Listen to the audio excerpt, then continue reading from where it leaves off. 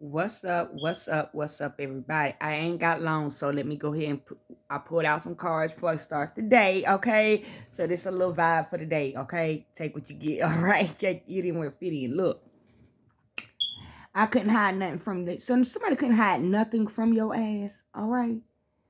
They want to know, do you even care? They are so emotional about you. I mean, they emotional. Like, got so much feelings for you, okay? You didn't fucked around had a rebirth and shit. Okay? Somebody saying, I know we belong together. They know y'all belong together. You are well respected too. You connected to nature and music. So maybe I need to connect to nature and music today. All right?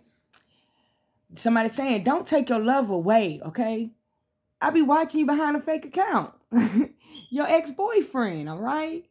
They got a track on their car. So I don't know who they dealing with they're dealing with somebody got a track on their car. They be tracking their ass because they've been acting weird lately, acting distant. So this person do got a track on their car. You a singer or you be singing or you love to sing. And we got lawyer. I feel like you are the law. All right? Okay. You a hard worker. Okay.